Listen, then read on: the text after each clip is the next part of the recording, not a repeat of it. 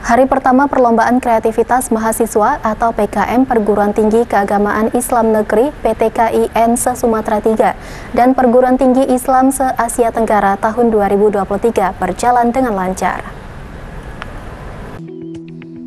Pekan Kreativitas Mahasiswa atau PKM Perguruan Tinggi Keagamaan Islam Negeri PTKIN se-Sumatera 3 dan Perguruan Tinggi Islam se-Asia Tenggara tahun 2023 yang diselenggarakan pada 25 hingga 30 Juli 2023 dilaksanakan di Universitas Islam Negeri Sultan Taha Saifuddin Jambi yang akan diikuti oleh 22 PTKIN se-Sumatera berjalan lancar. Adapun cabang perlombaan yang dilaksanakan pada hari pertama yaitu Musabako Fahmil Quran, Musabako Syaril Quran, Musabako Kiroatul Kutub, Musabako Tilawatil Quran, debat bahasa Inggris, tenis meja, karya ilmiah, dan monolog. Dalam perlombaan ini akan ada beberapa jumlah cabang yang akan diperlombakan, yaitu dari cabang olahraga, seni, dan riset.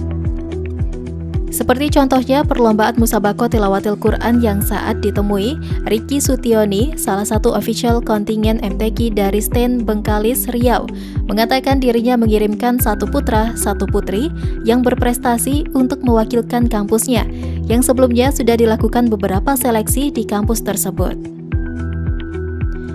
Ricky Sutioni juga mengharapkan kepada para kontingen MTQ ini dengan adanya perlombaan bisa menjadi keajang yang lebih tinggi lagi dan bisa menjadikan tilawatil yang membanggakan ke tingkat dunia.